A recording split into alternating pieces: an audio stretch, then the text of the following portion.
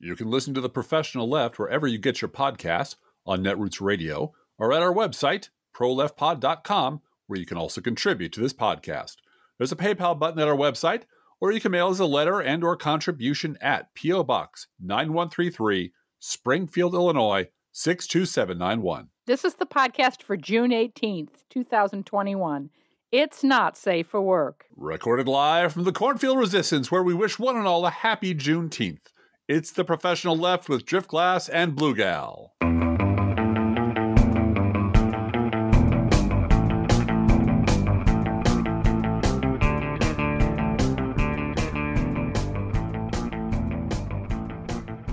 Hey, Blue Gal. And and Juneteenth, Driftglass, you know, is a in direct competition with Right. Independence Day. You, you can't celebrate them both. It's just that's the law.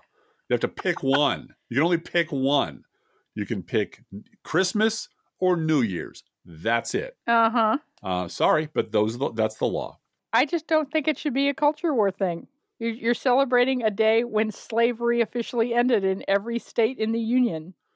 Okay, see now we have to stop pause for a minute while I make a list of all the things that shouldn't be part of the culture war thing that are because assholes decided they needed a, a bumper sticker to make the stupids mad. Yeah. So yeah, you no, you're right, of course, but that is you know, welcome to Illinois where we celebrate Casimir Pulaski Day.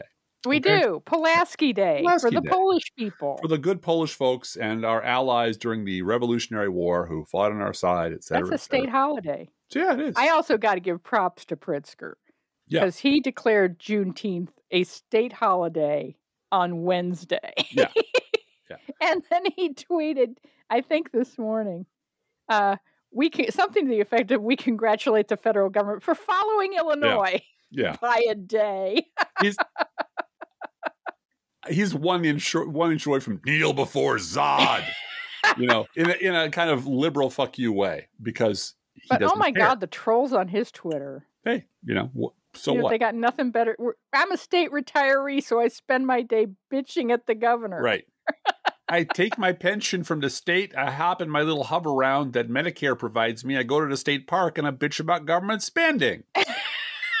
yeah, So true. it is true. It- you know, it- I live in a town full of retired state we know, employees. we know people yes, who do that, hate the government, who hate, who hate the government. and worked for the government for 35 years. and Yes. hated every minute of it. You know, Yeah. and maybe that's why they're assholes now. Yeah, because maybe. they maybe. worked at a job they clearly hated for people. Well, you know, the Republicans ran the state for a big chunk of that time. So, but it was it, they in They their did brain. it for the money and the Yeah. benefits because they're really good. yeah, they really are.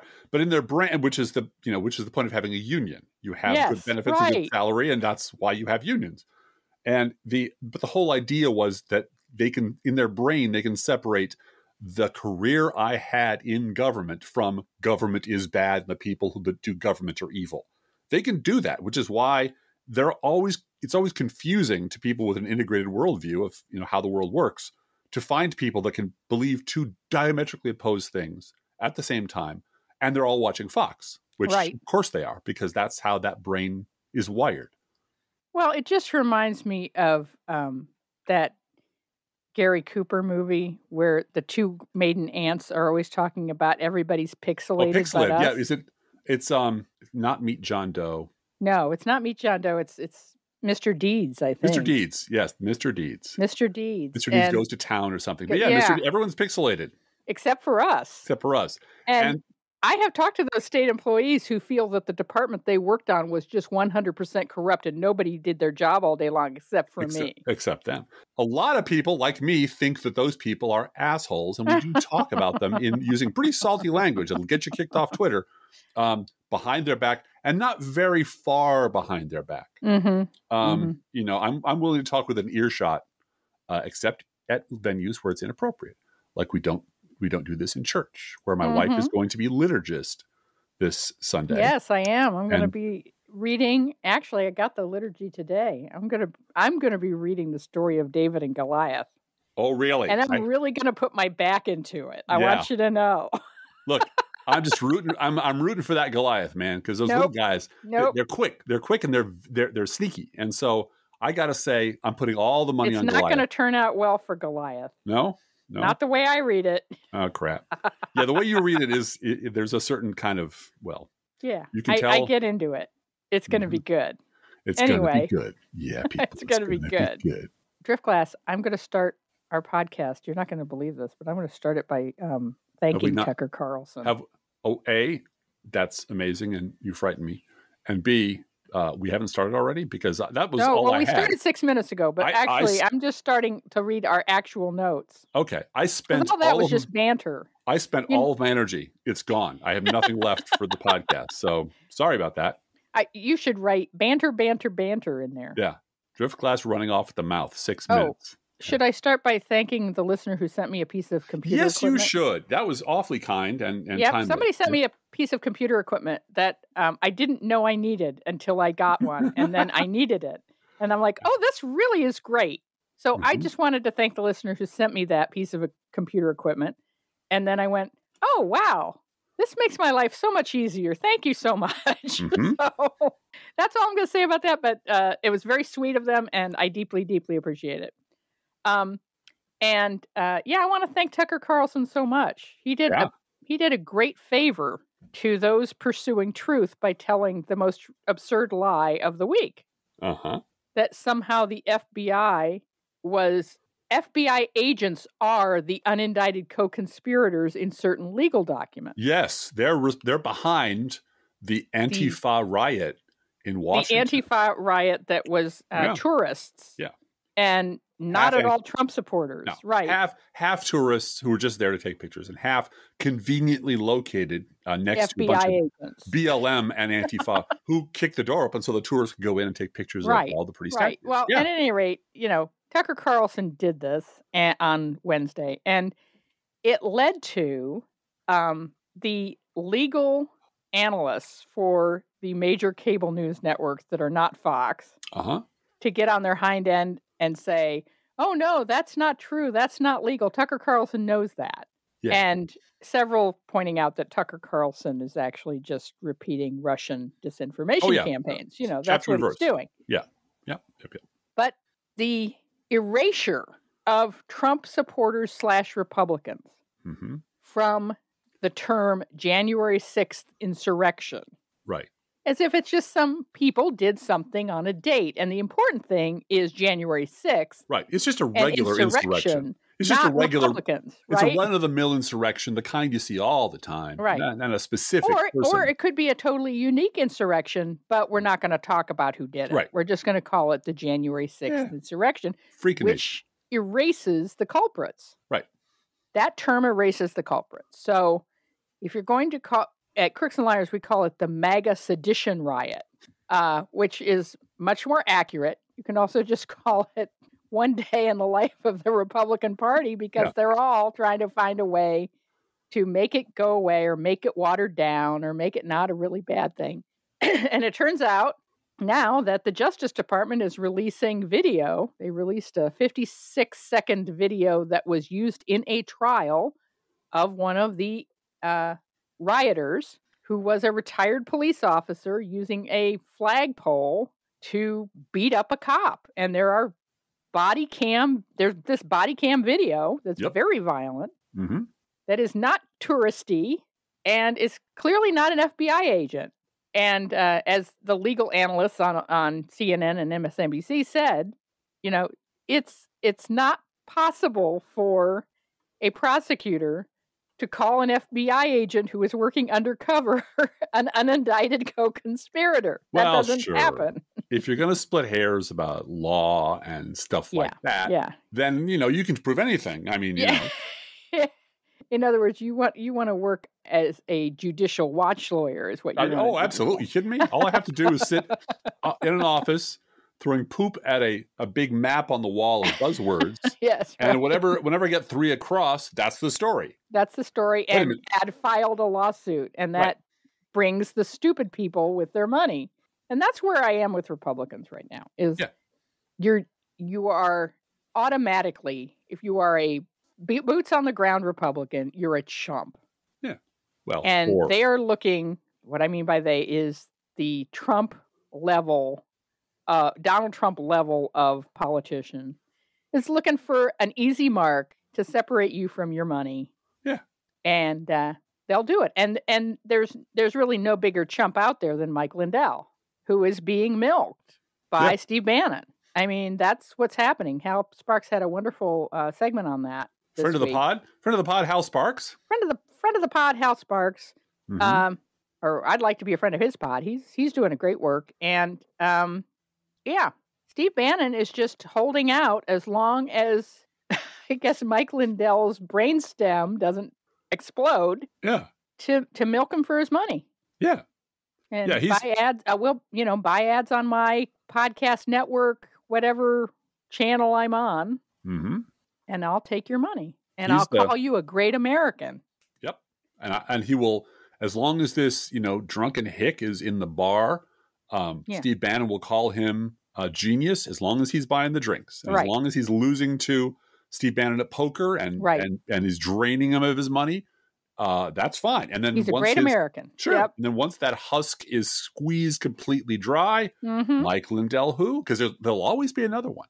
Oh There'll yeah. always be yeah. another. There'll always be another one waiting in line to tell the morons, to tell the meatbags the lie they want to believe. And that's why Marxism is back, baby. Oh no. Yeah. Marxism has made its triumphant return uh, to our shores uh, because um, the the problem with the people we're talking about, the stupids or the great wad or Republicans or whatever you want to call them, whatever pejorative you choose to describe them, they're all accurate. Um, although I, we were lectured last week on a certain uh, Never Trump podcast not to be condescending. Ever. Oh, Driftglass. condescending, contempt, And you were con- also asked on Twitter how long you'll hold a grudge. Yeah. How long you got? How long you got, baby? I'm still holding grudges from fourth grade. So, um, and because you know that's my nature. But it, yeah, this this as a brief aside, this Never Trump, this very notable Never Trump podcast was excoriating the left uh, because uh, contempt and condescension are just poison to our to American politics. Uh-huh. And I just go, you know, it's hilarious coming from someone who very comfortably fit inside the oeuvre of conservative media for 27 years. yeah. Um, and the definition of conservative media was having contempt and condescension towards people like me. And I Mm-hmm. wrote a whole post about it. I said, here's the here are the best sellers. And they're liberals are traitors, liberals are liars, liberals are scum, never believe a liberal, liberals are hate America. And it, and that is the conservative movement.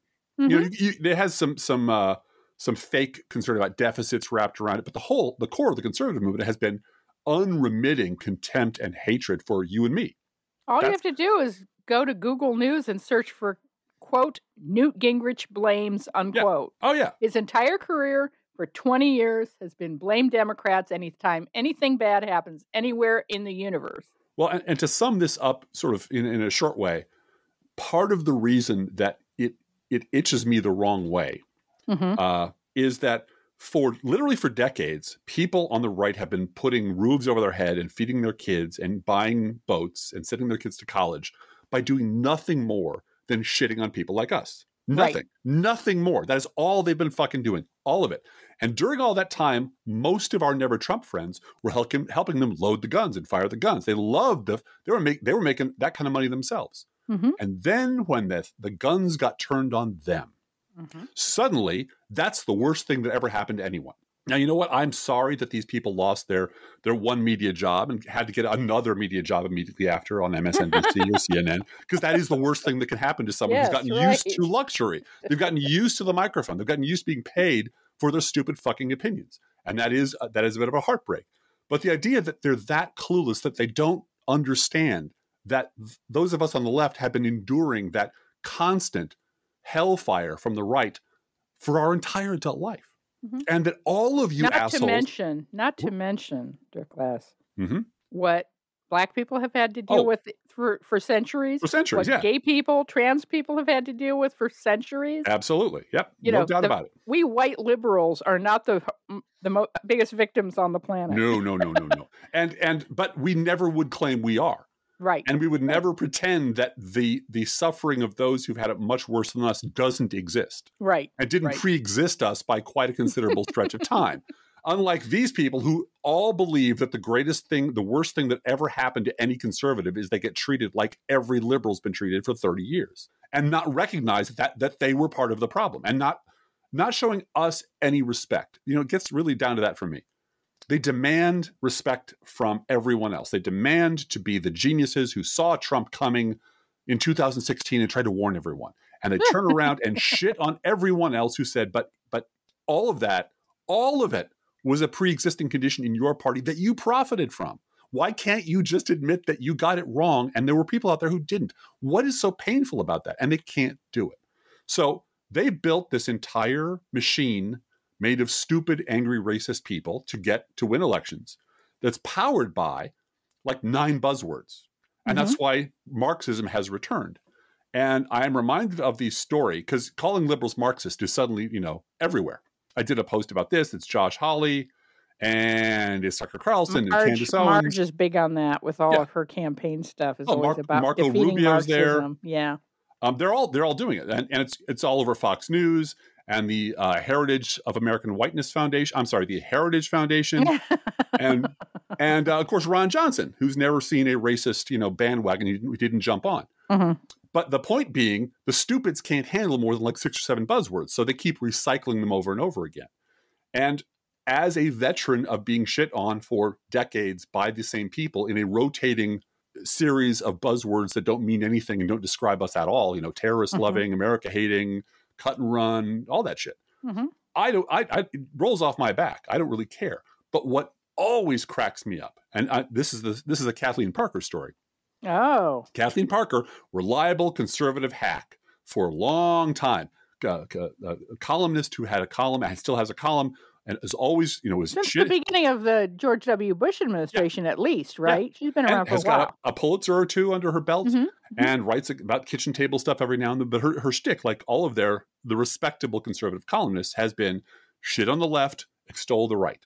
And and she just went along with that, and, and her readers loved her, and everything was fine. Again, as long as she's on the the trigger end of the gun, she mm-hmm. never noticed what mm-hmm. it was mm-hmm. like to be on the muzzle end of the gun. Right. And then right. one day she wrote a column saying that Sarah Palin really wasn't fit for national office. Mm-hmm. And her next column in her in her Washington Post op-ed column was apparently I'm a bitch, I'm a liar, and I'm a c word, and I'm a monster, and I'm a scum, and that. And she yeah, just her email uh, was filled with what traitor, monster, yeah. you bitch, you lying, and, and they called yeah. her all the names they call us all the time. This mm-hmm. completely un- flipped her out. It did because she, she didn't believe these were people in her party, and of course because like because right? she was busy loading the cannons and firing at us. Yeah. The yeah. minute the guns get turned around and the same guns start firing at her, that's the end of the world.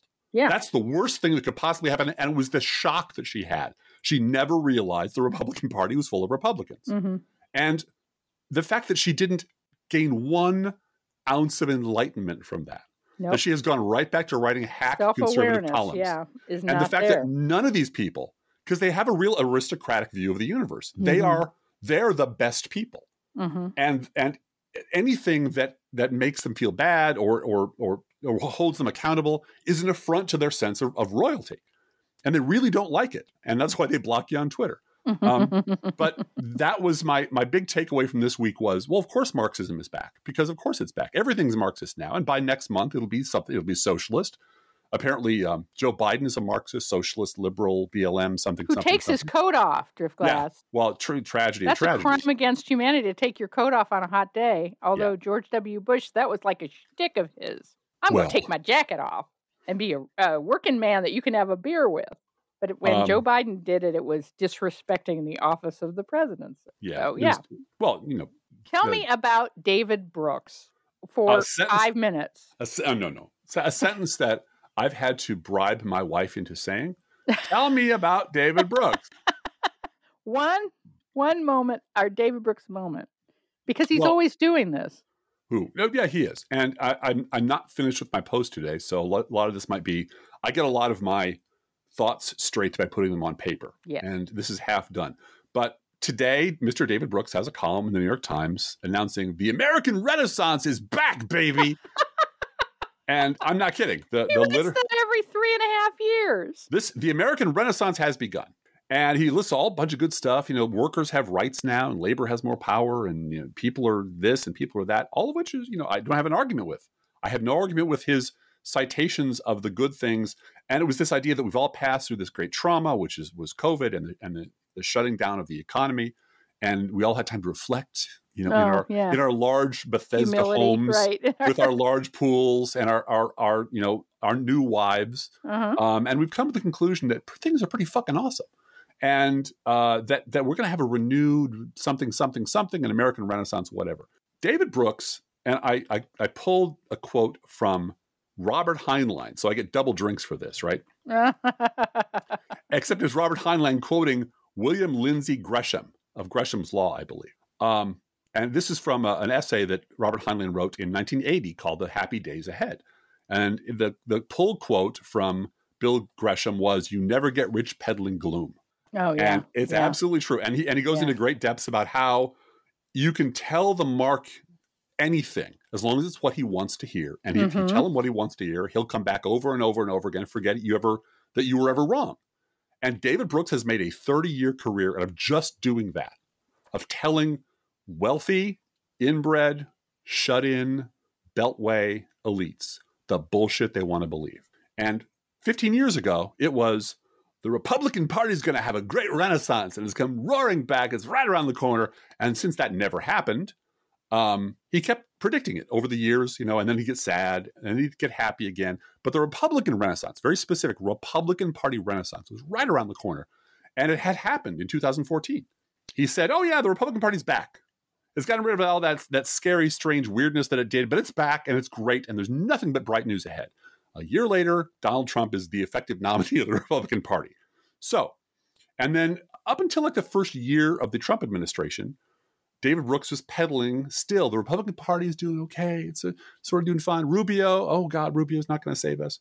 And then once it was clear that the left was right about the GOP all along, he pivoted to the conservative intellectual renaissance is right around the corner, baby.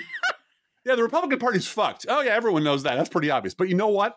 It's there's a flowering of conservative intellectual thought that's coming out.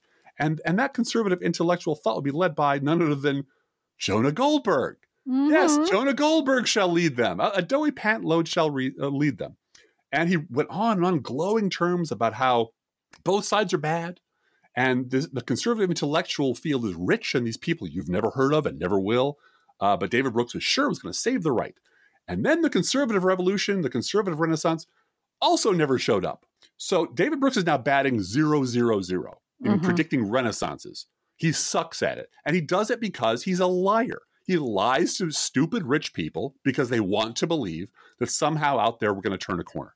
And so imagine my surprise today when I opened the New York Times. The American Renaissance has begun, baby. Mhm. It's it's here. Mhm. And again, all the things he cites as examples are good things. But what he cites at the very beginning is a his, uh, economist talking about how West Germany and Japan endured the, endured this terrible devastation during World War II, but bounced back really fast, whereas Britain bounced back really slow. So you know, tremendous trauma like we've been through uh, can lead to an immediate bounce back. And there's so much wrong with that analysis, beginning with why why did you choose Britain? Why not America? Because America bounced back really fast from that. But the second thing you learn is that David Brooks, who, only degree is a history major from the University of Chicago, he has no training in journalism, he has no background, he has no degree in anything like that. Is that But he David knew how to make friends with the right people. Oh, yeah. early on. Bill. Buckley, Yeah. sucked up to Bill Buckley, and then his career was made. Mhm. The thing that David Brooks fails to notice from the two examples that he cites, West Germany and Japan, is that the reason that they succeeded is that the fascist regimes that ran their country were bombed out of existence. Bombed, and then Now- the United States rebuilt them from Yes, the ground. So if David Brooks is subtly suggesting that we should bomb the Republican Party out of existence in order to our fascist regime, in order to enjoy a renaissance, well, you know, maybe I'm down for that. I wouldn't. I wouldn't even go that far. I would. I would go full AOC on the, on his ass and say, Mhm. "Look, if you want to cut the military budget the way we cut Germany and Japan's military budget in 1945 Well, we and then give them massive amounts of aid to rebuild their economy? and occupy them. Japan is occupy them. occupied. Right. We, we rewrote the German Constitution to and we to- said, no, no, no, you don't have a two a, a, a Congress like we do. Right. You don't get to you don't do an, an electoral college. No, and no, there's no. going to be and there's going to be a labor board. Labor will have an actual labor. represented representation at companies, at corporations. yes. But most importantly, the pre uh, the precursor, the precondition for this happening was the elimination of the deeply rooted fascist movement in these two countries. Mm-hmm. David Mhm. Brooks doesn't mention in this column the GOP at all. Well, of course They, not. they simply disappeared. So no, no, no, no, no. You have to get the fascists out of the way before you can have a renaissance. And according to Mr. Brooks, no, we don't. We don't even have to think about the Republican Party because, and this isn't because it's true. It's because David Brooks doesn't want anyone asking him any questions about, yeah, but what about the GOP being absolute obstructionist assholes who are Right. hell bent on destroying this country? right. and you being wrong every fucking day of your fucking adult life about them. How about that? No, no, no. Let's just forget that. Forget all that. I don't that. think I ever wrote anything like that. Zip it, zip it. I don't want to talk about that. I want to go on PBS and NPR and talk about how uh, the rising uh, tide and labor unions and America's coming back and we're manufacturing stuff now and people are just friendlier to each other, you know, and humility and blah, blah, blah. All of which is fine. But it ignores the fact that to get to the Renaissance, you have to get the fascists out of the way, which his own historical examples would tell him if he bothered to actually read history correctly. But if David Brooks read history correctly, he wouldn't be David Brooks. He'd be Yeah, but Driftglass, the, the the people that always sell this kind of sweet white oatmeal meal are Mhm. mediocre white guys. Of course they are. Yeah, yeah. No, And- no. I and and no it takes no as as I've said a million times, it takes a mediocre white guy to defeat a mediocre white guy. and as a mediocre white guy, this is right in my wheelhouse. So Well, um, this reminds me a little bit of a story that came out on CNN today. Mhm. Um, do you remember when all of a sudden Chris Matthews and some other people in the mainstream media discovered discovered uh-huh. that the Tea Party was made up of former Bush Republicans? Mm. And it was it was a big story that oh It wow, was- it's not a brand new political movement. It's it was it was Joe Scarborough, it was Joe Scarborough, David Yes. Brooks, Right, right. and uh, Chris Matthews, and Oh, all the yeah. rest of them simultaneously noticed that there, there, Hold- there was a, a study done. There was Yeah. a study done of Tea Party voters, and, Mhm. and all of a sudden we've we've discovered that yes, they're actually re- registered Republicans since before Bush. Okay.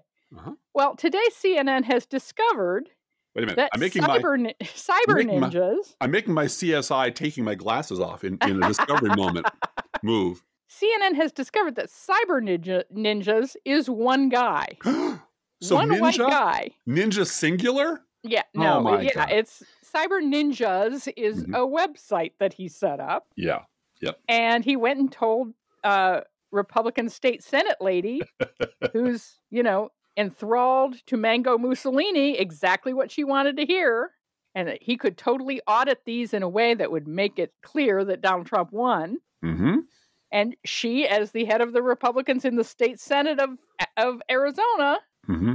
gave him the keys to the ballots Bent over, grabbed her ankles, and said, Yeah. "Do whatever you want." Yeah, and Yep. Andrea Fed on Twitter said it's not Cyber Ninjas, it's Doug Logan.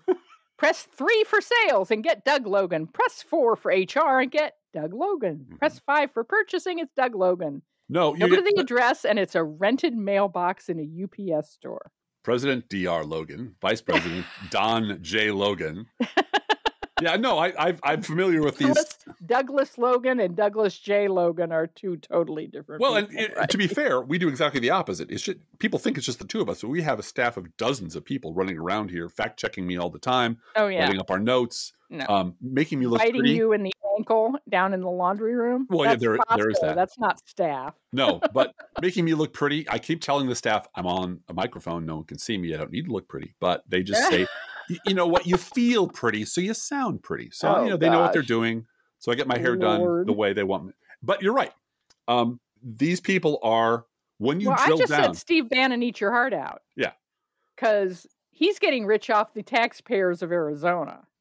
And and we'll get and they're gonna they're trying really hard i predict they'll succeed in exporting this freak show to at least a couple of other states Mhm, mhm. to keep it going man because you know once once the tent folds and the circus leaves town, everyone notices that they have nothing left. Their pockets are picked and they, they got nothing out of it. Mhm. And they feel like shit. So you have to keep the party going. Um, and it's getting to be like, I don't remember, I don't remember if you remember uh, Jesse Pinkman from Yeah. Breaking Bad when Uh-huh. he was running that party all day and all night. Yep. And it kept getting more louder and uglier and more violent, and people were like puking in the corner. But the whole, the important thing, keep the party going. Order more pizza. Get people here, and that's what they need to do. That's what they're doing right now. Their their Mhm. whole party, literally and figuratively, uh, has to keep this madness whipped up. This is the hot air that keeps the balloon up in the air. Mhm. And if it Mhm. leaks for a minute, if it cools off for a minute, the whole thing falls apart. And the people Mm-hmm. who are making money and making ratings and winning office all know it. If- Right. If, the if the wingnuts aren't red hot, mad, crazy all the time, everything falls apart and we all lose our jobs. So we have to keep inventing reasons for them to be furious at imaginary enemies. I want you to talk about this article in Yahoo News that you were talking to me Yeah. about. Well, this is this is one of those things that I put in here because honestly, um, every now and then it does feel like we're shouting into the abyss. Mhm. Like, you realize this problem goes back like 30 fucking years, right? And all I hear echoed back is, shut up. shut up. Don't talk about that. Don't you realize these people are our friends now? They're our allies. You shouldn't challenge them on this. And what who cares if Michael Steele goes on television and lies all the time? What's the harm in that? And the harm in that is well, the lie keeps going. And we if we never diagnose history correctly, we will never know what went wrong. and We will never fix it properly. We had a problem in our house several years ago of a drip coming through the ceiling in my wife's office. It is directly under a the upstairs bathroom. So clearly Mhm. the upstairs bathroom is the problem.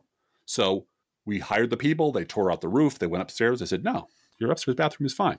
There is a hole in your roof directly above the bathroom. It's leaking through and it's pouring into the office." and, and the beam in your roof is actually the water is following that beam and then following it down to the first floor rather than Mhm. dripping in the bathroom because it's an eave. So the we way the way your that your house is constructed, the water is just following the lowest point, and it it's a weird drip. It's a they they admitted it, but they had to cut a hole in my ceiling of my the office ceiling? to realize Yeah. It's not your toilet at all. It's the roof. So but if you diagnose the Republican Party as Yeah. suddenly having gone inexplicably insane in 2016 with no preconditions, was nothing leading up to it. It was Yep. certainly not. It was certainly not Joe Scarborough's fault or Charlie Sykes' fault or Rick Wilson's fault. None of these people. These people are all fucking blameless. And then suddenly the Republican Party went insane. Then you're going to want to return the GOP. If you're a conservative and if you want Right. to stay in the party, if you want to, if you want your party back, you are going to try, along with all of your mainstream media friends, to set the clock back to 2014 because Right. that's when the Republican Party was fine. David Brooks said it was fine. Everything's fine now. And my point being, that's ripping a hole in your ceiling to discover that the toilet wasn't the problem. mhm, The problem is much further than that. The problem goes back to Barry Goldwater. And if mhm. you don't diagnose the fact that the Republican Party has spent decades building a base of hate filled morons who read Ann Coulter, they do not read The Wealth of Nations, they don't read Democracy in America, they read The Strange Case of Vince Foster. Mhm, That's mhm. the base you built. And so when I read someone who with a lot more credentials than I will ever have in five lifetimes telling me that I was right, I would like to repeat that out loud on a podcast that I happen to be a partner in.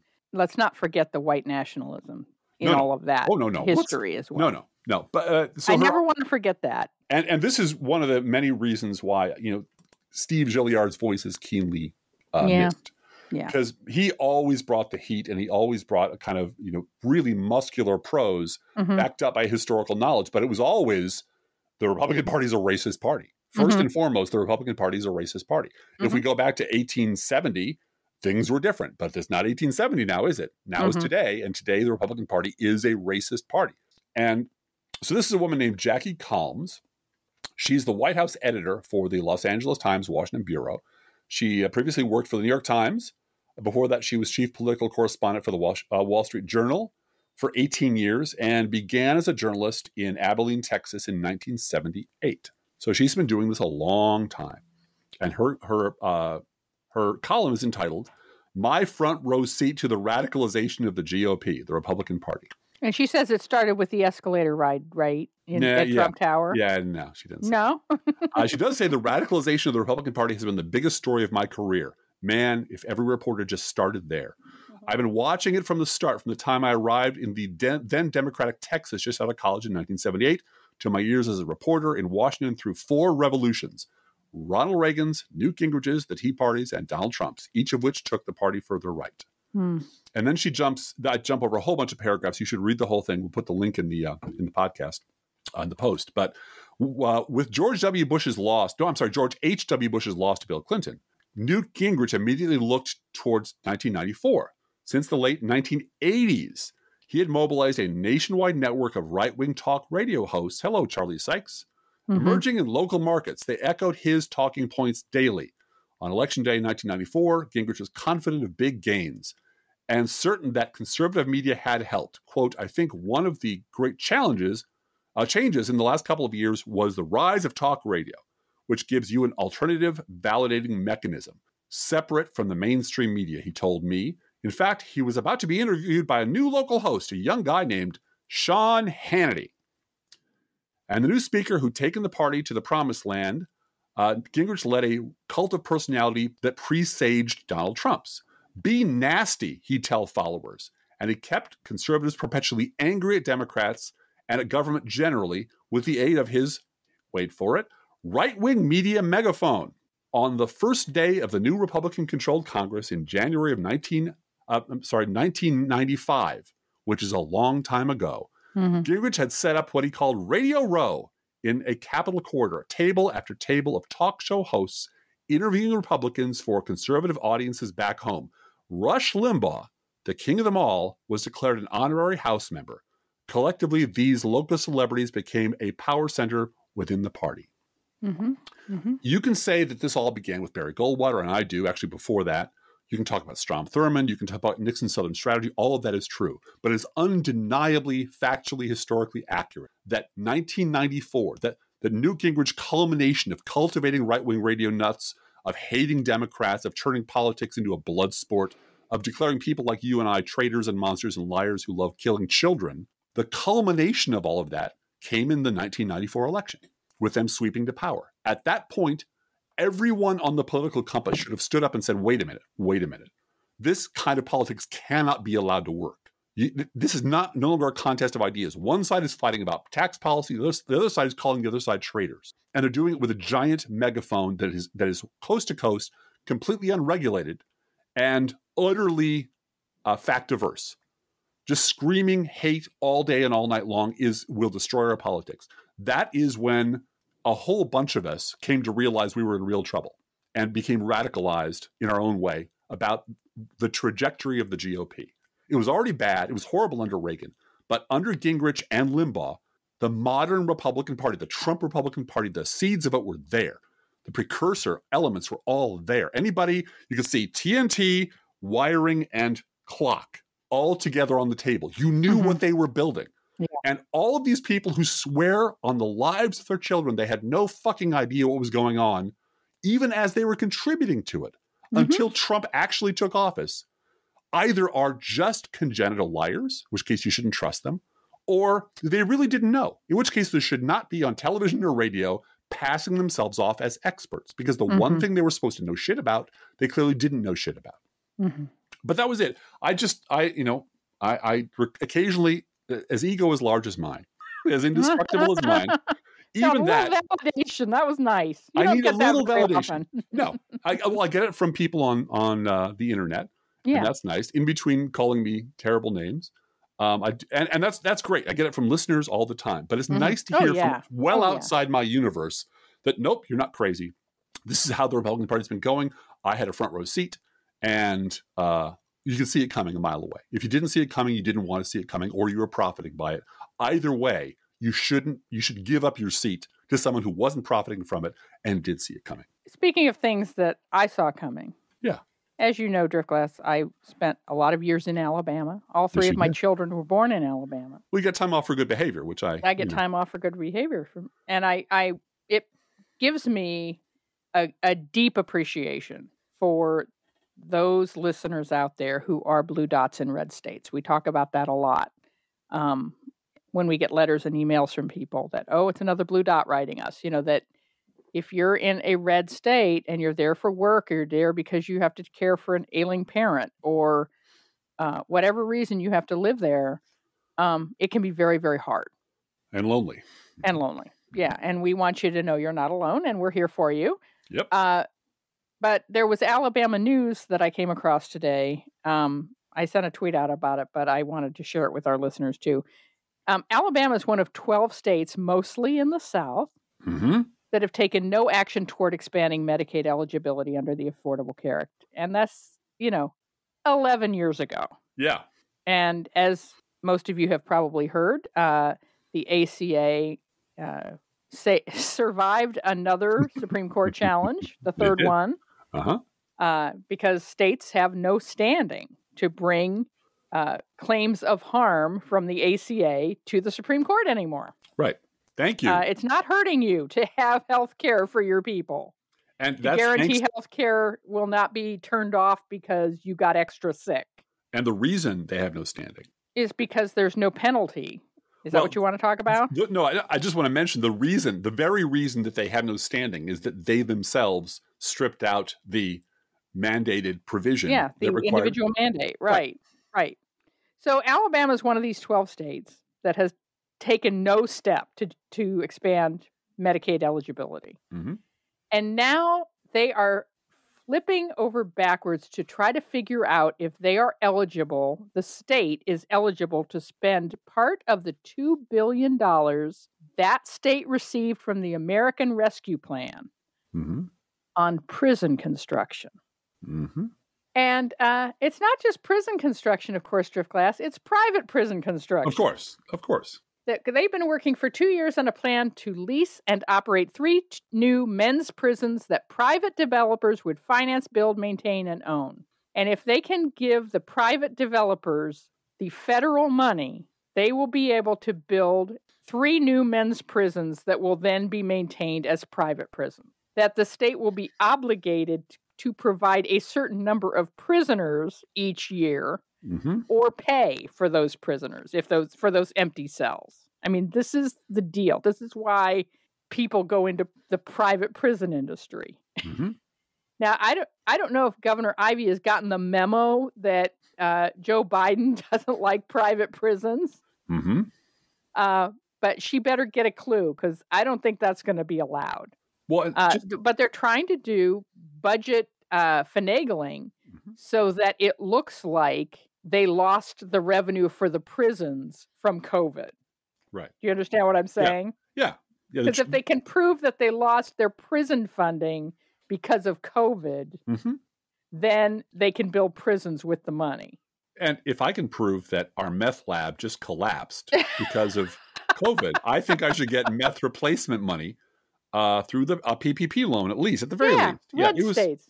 Well, that was the other one this week that I think one of our daughters shared on Facebook. I think I think middle child shared on Facebook of the restaurant that had the big sign in front. Please be patient with our wait staff. No one wants to come to work because of unemployment benefits. The sign on the door of the Yeah. restaurant says this. And then someone, of course, had the wherewithal to go look up whether that restaurant had received PPP loans to pay their people to come in and work. hmm And they had. Of course, they had They had gotten a couple over of a million dollars. Yeah. So handouts for me, but not for you. Yeah. Right. Well, that's that. I, I I like having that debate. Yeah. You know, well, before we do a news roundup, Driftglass, um, you had a feel good story that you wanted to share. I, I did. Well, it's a it's a thing that was uh, I saw on this uh, website called Crooks and Liars. Never heard of it. Don't know if you've ever heard of it. it it's a pretty good website. Um, one of the editors um, I know personally, and I uh, she's hot, isn't she? she's she's, so hot. She's so hot. um, and it's a story of Timothy Harrison who went to work at a Waffle House on the day of his high school graduation because he and his family didn't have a ride to the venue, which was an hour away, and his mother, who works at daycare center, couldn't get the day off anywhere. And his manager at the Waffle House jumped into action. Uh, the manager said, "Go home, get your paperwork, call the school. We'll figure out the rest." And Cedric Hampton, 38, who's worked at the Waffle House for four years, took the kid. For me, it was a no-brainer. Graduation was one of those things you do once in a life. And when you've worked all these years going to school and have that moment, it's necessary to be there. So his employer uh, arranged for him, drove him to high school, got the cap and gown, paid for the whole thing, got him new shoes. And although they couldn't attend the ceremony because of pandemic restrictions, the fellow employees waited in the parking lot to greet the new graduate. Oh, I think that's just absolutely wonderful. Yeah. I think that's one of those stories, and this is one of the reasons why I, I like Crooks and Liars, other than the fact I'm married to one of the editors and think she's just the, the best thing in the world, is there are all of these wonderful human interest stories that Mhm, fly under the radar mhm. about people. And we have this happening in Springfield all the time. We have restaurants who stepped up and gave away literally thousands of meals, free food. free food, all through the pandemic. They, they kept their doors open, and the people who work there love working there because they're doing really well. They're making a difference. They're Yes. making a difference. And their boss treats them really well, and and the, the, the, community appreciates them. And it's one of those virtuous circles where oh, we can take care of each other. We really Mhm. can. Uh, instead of slapping a sign on the door saying sorry, you know, we Nobody wanted to come to work because they're all so- getting handouts from the government. Oh wait, what? Here's your handout from the government. Oh, Yeah. thanks. But I'll, I'll put this link also up on uh, when I post this thing because it you know there are things I occasionally bring to your attention, usually involving like a, a mule kissing a guy or a duck and a dog, you know, working together to overcome a problem that, that make me smile. And we have discovered that stories that make us happy um, don't take away from our political edge yeah. and don't and occasionally just are necessary to sort of breathe you know chop Mm-hmm. wood carry water laugh at ducks and donkeys It Mhm. should be should be the third part of that don't forget to notice all the good people doing all the good things in your community I, I want you to know out there in in podcast land that Driftglass has been a stepdad not just to my kids, but to a lot of kids that have come through the front door of this house over the course of the past ten years of marriage. Yeah. to him, and uh, he he he loves being that minivan dad, carting kids around and making sure they're safe. And oh yeah that's know. that's the best i mean this is what best. when i get cross-examined about what i want for father's day i said i got everything i've got everything i want i've got everything i Mhm. ever wanted i want more of everything um, but that's just you know I got ju- a weed whacker this year. I did. I went out and got myself a weed whacker, blue gal. He went out and bought it himself. did. This is like this is what we do. Yeah. Get what you want. Go get it. I know my wife wants knitting stuff. Yeah. I and know I that just I- order it. I- So I will never know enough to order like right. adjectives for a professional lexicographer. So right. And my husband is six foot eight and I don't want him to get a weed whacker that requires him to bend over No. at a forty five degree angle in order to use it. So it has to be adjustable so that it's long enough for his arms. Mhm. And uh you wanted a rechargeable one. I did. And uh I I didn't know the one you got I think is a little bit heavy for me. it is. But you're six foot eight, so you can Well- swing it. You know, And you didn't see me out in the backyard because the sound of it covers up me making the lightsaber sound when I cut through things. So, you know, I have a good time uh, at all ends of this transaction. I'm a winner. Um, right? But, you know, don't overlook the little things that make you happy. And Yeah, don't overlook the, the, the people who are doing really good, kind deeds uh, in your community and thank them for it. Make sure you, Yeah. you call their atten- your attention to it. There's all, if, if I, I would love to do a podcast of just the people I know in Springfield who are doing wonderful things, but then I'd have Yeah. to mention their names and then they get tangled up in my politics. And you don't want that. you don't so- want that. Thank them in private. Hey, let's do a news roundup. The Bidening continues. Yes.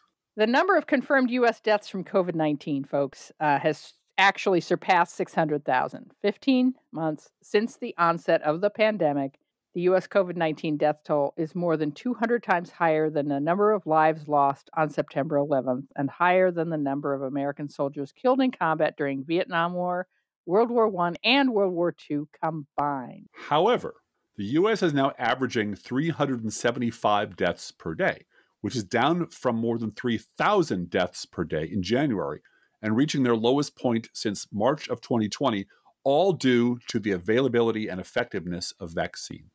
And the you know, I grieve for those 375 that died today. I, Absolutely. and you're you can't take take that as solace for their families. No. So get your shot.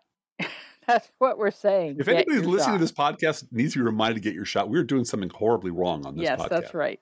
Thanks to the American Rescue Plan, which has lowered premiums, and the special enrollment period launched by Joe Biden, more Americans are covered under the Affordable Care Act than at any time since its pa- passage. And it's it's like a lot. 30 million people now have health care coverage through the Affordable Care Act in the marketplace. And you have a chance to still do it. Uh, Andy Slavitt, by the way, who A has a new book out uh, called Preventable. I want to plug that book because do we have a copy of it here? The, we have a copy of it here. The the, the the failure of the Trump administration should not be underreported. Uh, but he also, you know, he's Mr. Affordable Care Act, mm-hmm. and uh, he pointed out that if you are uninsured, uh, 80% of people that are still uninsured can get coverage on the Affordable Care Act marketplace plan for under $10 a month. Mm-hmm. And uh, that's because of the American Rescue Plan. They have increased the subsidies big time. Mm-hmm. And if you have not checked that out, if you have already have health insurance through the Affordable Care Act, go back on the website. Yeah. And yeah. you know, add a phone number. Make report a life change and add a phone number of any kind. Yep. Of any kind. Just make a little change to your record and check out whether you can get a higher subsidy because subsidies have gone up. And um, I am very grateful that uh, we we worked out our situation with our son who just graduated from college. Mm-hmm. And he had college insurance, which isn't the greatest, but it's insurance. And they had a clinic on campus, and it worked for him because he's 18 to 22, yeah. you know, and yeah. it, it, worked. Uh, but now he's going to lose that this summer. And, you know, I go through the whole trial that I've gone through multiple times while recording this podcast of how do I make sure my kid has insurance and has the medications he needs. Mm-hmm. And it, once we figured out what we needed to do in terms of whose whose custody is he going to right. be in with, right. with, my ex, you know, on paper, yeah, on paper, and he's going to be mine son because he's going to live here and go to graduate school. We signed him up. We signed him up for on the Affordable Care Act to be on my insurance mm-hmm. Till he's 26, and that's only four more years. I know, I know. like, but, oh, great. but let's let's take life in four year bites. We'll take life one day at a time. And let's remember what a you know not remember, but th- that is such a relief. I mean, for every Yeah. family, for every family who has one of those terrifying financial things that you, you don't have a lot of control over bearing down on you when Yep. when the pressure of that is relieved just incrementally. Yep. It's such a relief. There are so many things that c- can be done simply, like Yep. you know, student loan um, forgiveness. Seriously. things that we can do right now that doesn't don't involve scientific breakthroughs Yeah. or miracle cures that can save that can save the lives and in, improve the lives of tens of millions of people. Yep. And I really kind of, you know, it's so clear that there is one group of people in this country who want to do that, and we Mhm. fight over how it gets done. We fight among the uh, with the assholes in our midst who are just really just want to be Republicans and are stuck in Mhm. our party, Mhm. and the other party that doesn't want to do any of it. That just wants to make us cry when they stop us from doing it. That's the only thing that motivates them. right. Um, well, we talked about the Supreme Court, so let's move on to the Biden administration, who will invest $3.2 billion to advance the development of antiviral pills to treat COVID 19 and other viruses, which I must add will also make it easier to get the microchip into the body. And the magnet. Mhm. And maybe the light. Maybe they can put a little light and you could stick the pill up your butt. Yeah, well, the pill's going to be about the size of a of a Reese's peanut butter cup. So, yeah. So, and it's little, got to have the magnet and the 5G and the, the whole light. thing. You know, the file And, uh, backup. the the end user agreement is like 12 pages long. So that's, you know, and, and and I have trouble swallowing that now. So anyway. Biden signed legislation making Juneteenth a federal holiday to commemorate the end of slavery in the United States. The bill unanimously passed by voice vote in the Senate. 14 Republicans in the House, including Paul Gosar. Are you surprised? Oh God. Yeah, no. Voted against the proposal. Also, uh, Mo Brooks of Yeah. Alabama. All these people that are in those deep, deep red districts where, you know. Mhm. Okay. Where the blacks live, blue The gal. blacks. Oh, what about the blacks, Driftglass? Yeah, I just I didn't know how to put that into our notes in a way that would smoothly Well, flow. let me, let but- me say because John Amato wrote that up today, and I, I edited the piece that uh, there's a new book coming out about Donald Trump that's got him bitching about the blacks. I did so much for the blacks, and the blacks don't love me, and I only reason I did it is because Jared kept bugging me to do it. Jared. And I think that's that is that's a whole bunch of things that are horrible and wrong. layer. There's a layer cake there of But- stuff going But it's also trying to kneecap his son-in-law because his son-in-law's book is going to come out before his Yeah. book's going to come out. So yeah. you know, Yeah. we want to just shit on anyone who might Oh, be. there's a, there's a whole list on Twitter of um, alternative names for Jared's book. My Yeah. my mine was money, please. Money, please. Give me the money now. Yeah, Star Wars kid grows up. I, I don't know. There's there's a lot of stuff that can be done there. Um, the education department. The um, let me spe- uh, specify. The Biden education Mhm. department has canceled more than 500 million dollars in federal student loan debt for 18,000 borrowers who were defrauded by the now defunct for-profit ITT Technical Institute. And and watch the space. There's more coming. Yeah. I've been reading some stuff up on that, and it's not that Biden doesn't want to do it. Mhm. Um, the the Biden. We have to. We do have to insist on that. We really 'Cause do. Otherwise, we're talking about The Betsy DeVos the Betsy DeVos Education Department Yeah. is no more. is no more. Mhm. The Biden Education Department has issued new guidance that the rights of transgender and gay students are protected at school by Title IX. Mhm. And that that's great because Title IX is established law. You don't have to go through a Senate filibuster. That's right. Um, however, that's merely a reversal of the Trump era guidance that gay and transgender students are not protected by those federal laws. Yeah. And so the the real anxiety is, well, if this is just a switch that good presidents can turn on and bad presidents can turn off, that means you got to always elect the good presidents, Yeah. folks. Yeah, we have. There's a whole lot of things that can be toggled off and on that need to be toggled on permanently. Mhm. So, Mhm. uh, the House voted to repeal the 2002 authorization for use of military force in Iraq. About goddamn time. The Mhm. 2002 authorization was repeatedly applied beyond its original intent, despite the Iraq War ending nearly a decade ago. Chuck Schumer said he will also put the uh, authorization to a vote this year.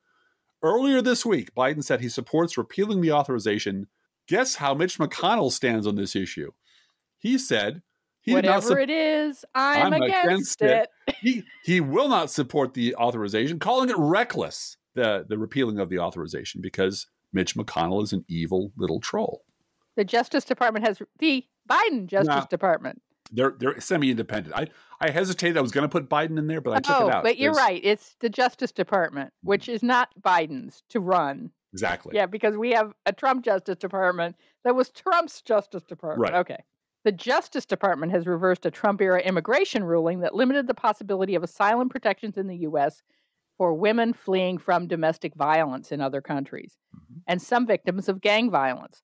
Attorney General Merrick Garland vacated the 2008 decision by former Attorney General Jeff Sessions that ordered immigration judges to stop granting asylum to victims of private violence like domestic violence or gangs.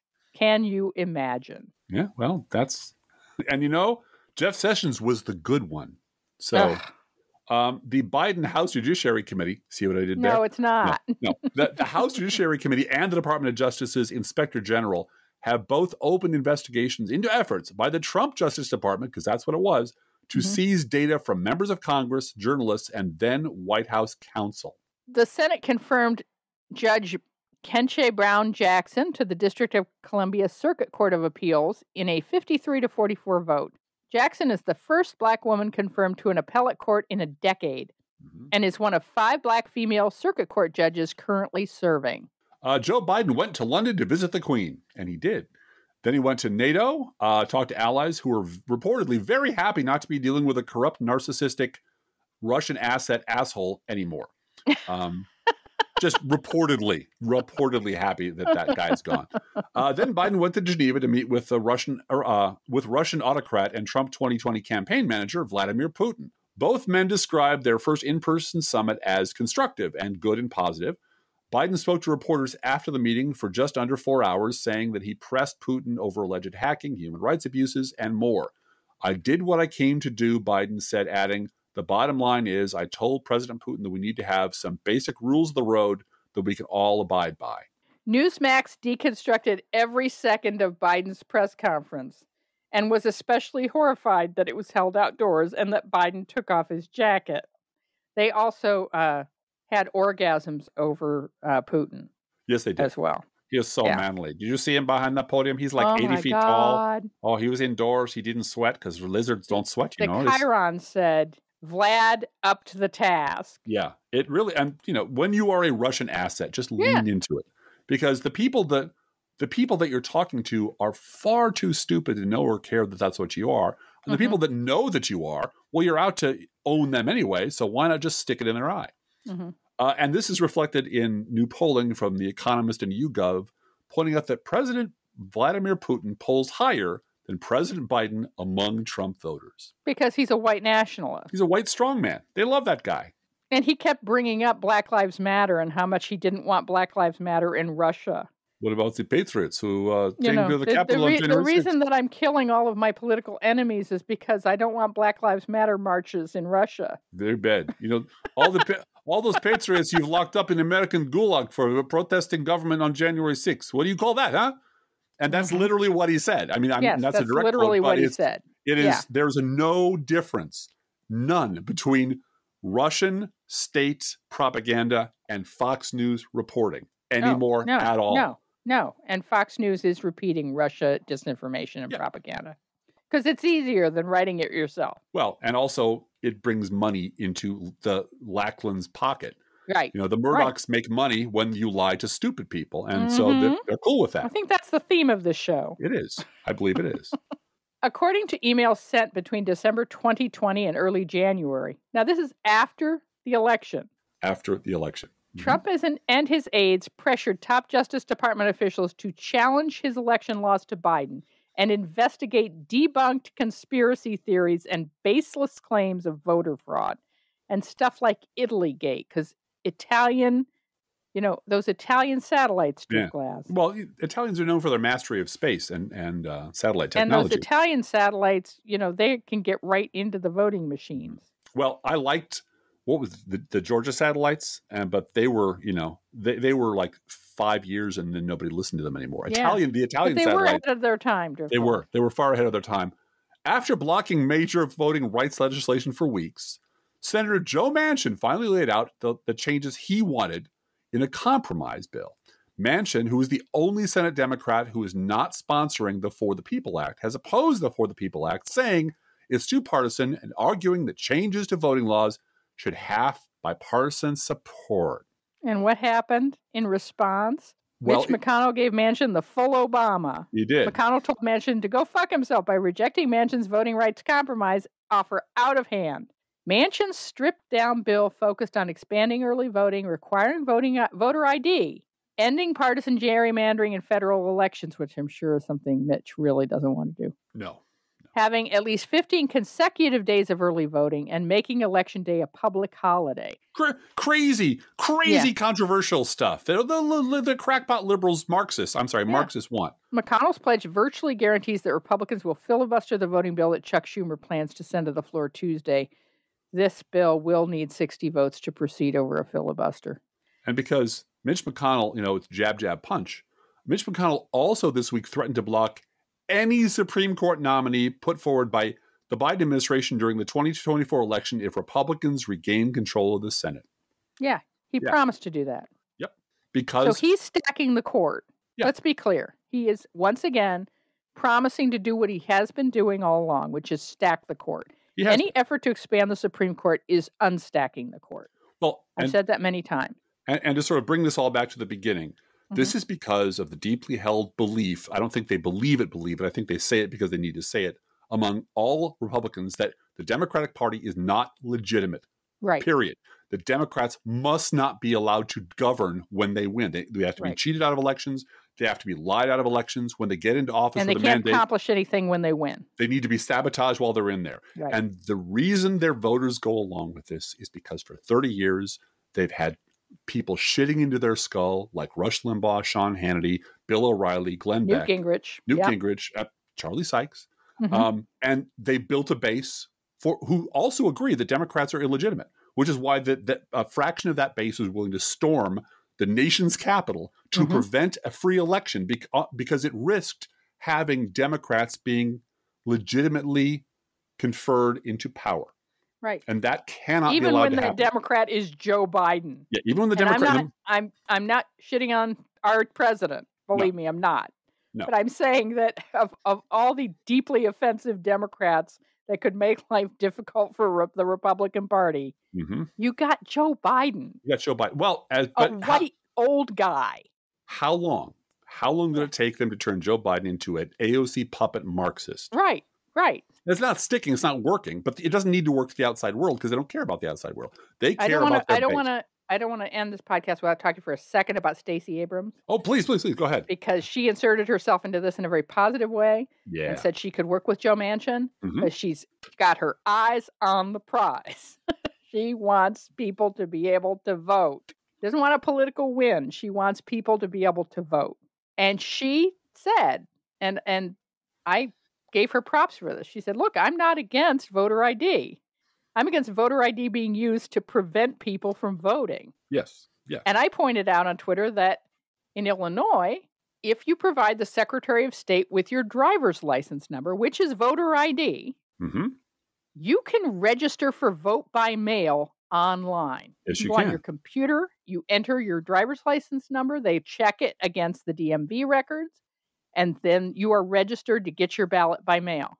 And that's not that is voter ID. You're you're surrendering your ID in order to get your ballot Well, and, and but it's not preventing someone from voting. It's actually helping you get a ballot and be able to vote from home. and as you and I and uh, Junior Dude talked about yesterday, Mhm. there's a model for this. It's called vaccine distribution. Yes, right. We have drive up vaccinations. We have drive by vaccinations. We Mhm. have tents set up. We have Mhm. we have clothing stores. We have bars. Every drugstore in America is is a vaccine distribution point. And we're doing it at the state fair. We're bribing people to go get vaccinated. Mhm. If you can put together a national strategy of getting people who are vaccine hesitant, even or, or just way far away from any central civilized location, way in the country, if you can 10 get miles from a Walgreens, which I just can't imagine anyone is, but they are. Yes. Okay, we'll pay for an Uber. You know, Mhm. we're, we're Yeah. going to get a driver there. If if you can mount that kind of campaign on a national level to get people shot, you can do that for voter ID. And For- the only for reason voter you ID and for and for voter registration. and for voter Yeah. registration, absolutely. There's no we we have the model. COVID has literally handed us the model for doing this. The only Mm-hmm. reason not to do this is because the Republican Party is a white nationalist, um, um, Fascist party. fascist party Mhm. who believes in preventing people of color from voting because then they'll lose elections. and Democrats from voting because Democrats are always illegitimate as leaders. Yes. Yes. Yes. Yeah.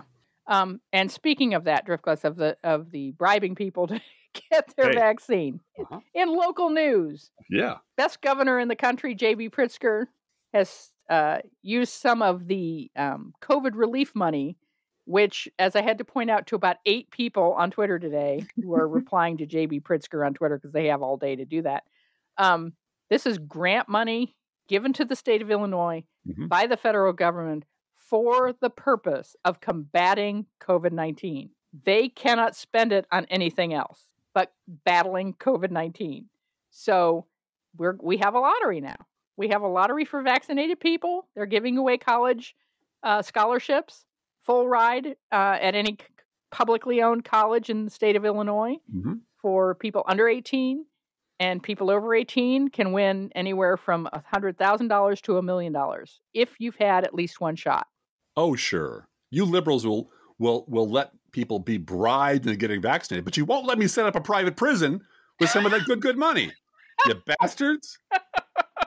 A private for profit prison private that will be managed by Yeah. hedge fund managers Yeah. who get paid either way. Yeah.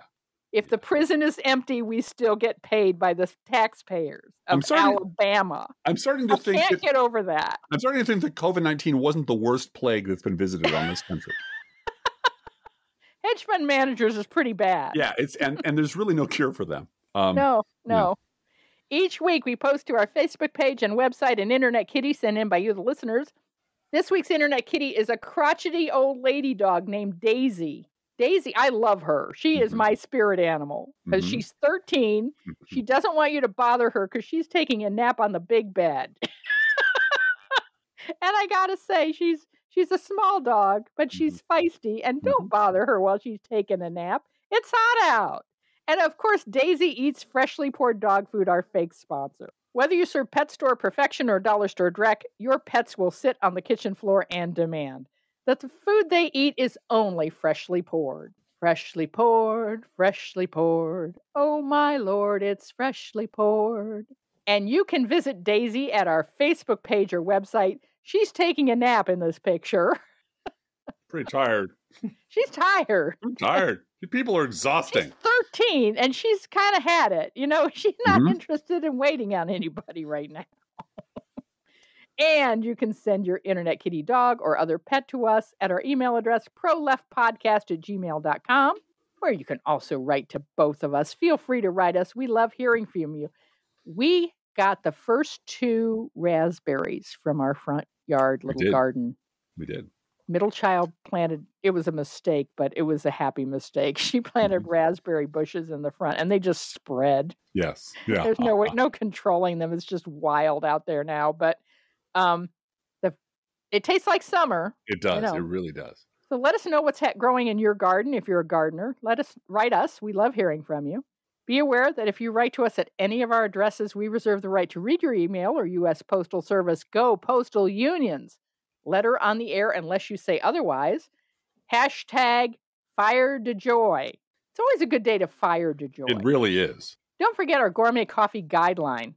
If you can afford to buy an iced coffee for yourself, buy one for us. This is not charity, this is our job, and it's a labor of love. Approximately 1% of our listeners support this podcast with a contribution, and you can too. See our website, proleftpod.com, for details. Our PayPal postal address information, all of it is there at proleftpod.com. Please share our show on social media, and thank you so much for doing that. Hey, Drift Driftglass. Hey, Drift Driftglass, how are the Internet Kitties doing this week? Well, look, Al, the Internet Kitties demand to know why there are dog days of summer, but there are no cat days of winter or spring or fall. Let's think about living. Think about living. Let's think about loving. Let's think about the hooping and the hopping and the bopping and the loving, lovey doving. Let's forget about the wine and the crime, the shooting and the dying, and the fellow with a switchblade knife. Let's think about living. Let's think about life. The Professional Left podcast is recorded under a Creative Commons license. Copyright 2021 DGBG Productions.